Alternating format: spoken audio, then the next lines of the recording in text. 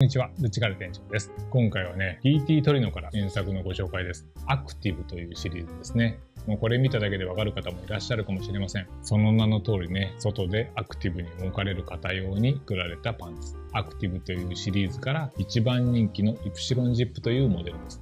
特徴は裾にファスナー。アクティブの中でも一番人気のあるモデルですね。見ての通り、シンプルなノープリーツのスラックス。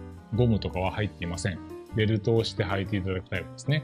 で、裾にファスナーがついているので、股下はちょっと短めの設定にしています。なので、このまま履いていただける方もいらっしゃるかもしれませんし、直す場合、短くはできます。ただ、長くはできないので、足が長い方は股下のサイズは要チェックです。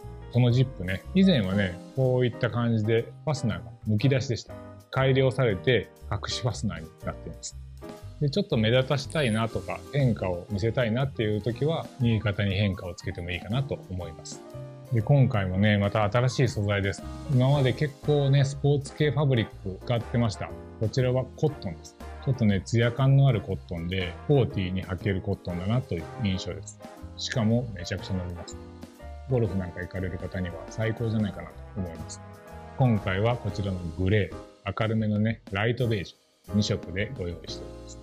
ではこちらもね、履いてみたいと思いますので、よろしくお願いします。はい、履いてみました。すごくね、綺麗なシルエットですね。スーパースリムフィットと同じぐらいの感覚ですね。裾のファスナー、わかりますかね？ちょっと開けてます。こんな感じでちょっと開けた感じで履いていただいてもいいかなと思います。おそらくね、僕の記憶ではコットン素材初めてだと思います。ちょっとツヤ感があって、オールシーズン履いていただける素材ですね。